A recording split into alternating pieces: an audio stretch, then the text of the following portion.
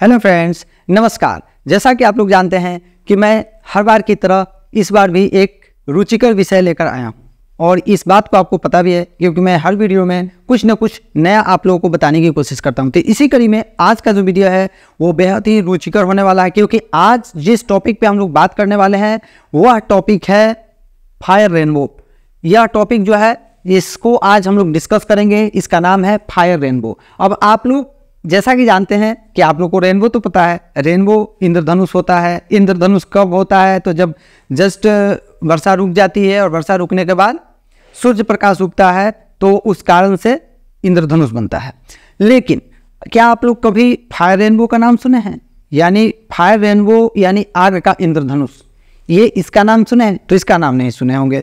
तो आज हम लोग इसी टॉपिक पे दोस्तों चर्चा करने वाले हैं। तो आइए, बिना देर किए हम लोग आज बात करेंगे फायर रेनबो के बारे में। तो दरअसल ये फायर रेनबो है क्या? तो यह प्रकृति की एक दुर्लभ घटना है।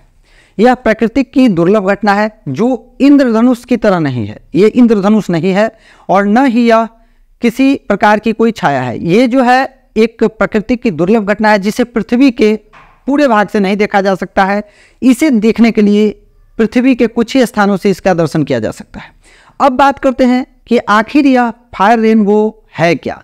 तो फायर रेनबो है क्या दोस्तों? तो जब ये बनता कब है? तो जब सूर्य जो है, अंठावन डिग्री, यानी अंठावन डिग्री के एंगल पे, पृथ्वी से अंठावन डिग्री के एंगल पे जब सूर्य होता है, तब इसकी किरणें बादलों पर पड़ती है और यह जो बादल होते हैं, इनमें अपवर्तन के कारण प्रकाश जो है सूर्य का वह सात रंगों में बढ़ जाता है। और इस कारण एक इंद्रधनुष की तरह आकृति बनती है जिससे हम लोग फायर रेनबो का नाम देते हैं।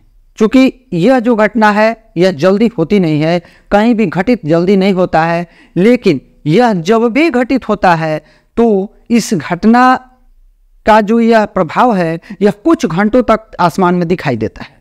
और आसानी से इसको कुछ घंटों तक देखा जा सकता है। लेकिन यह जल्दी नहीं होता है क्योंकि यह प्रकृति की बहुत ही दुर्लभ घटना है। तो फायर रेनबो दोस्तों, आप लोग समझ चुके हैं कि फायर रेनबो इंद्रधनुष नहीं है।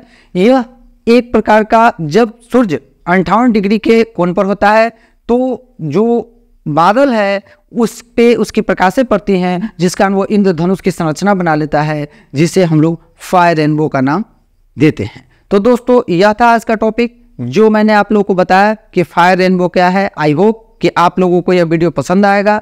यदि वीडियो पसंद आए तो इसे अधिक से अधिक शेयर कीजिए, मेरे चैनल को सब्सक्राइब कीजिए लाइक कीजिए, फिर मिलेंगे नए वीडियो में नए विचारों के साथ।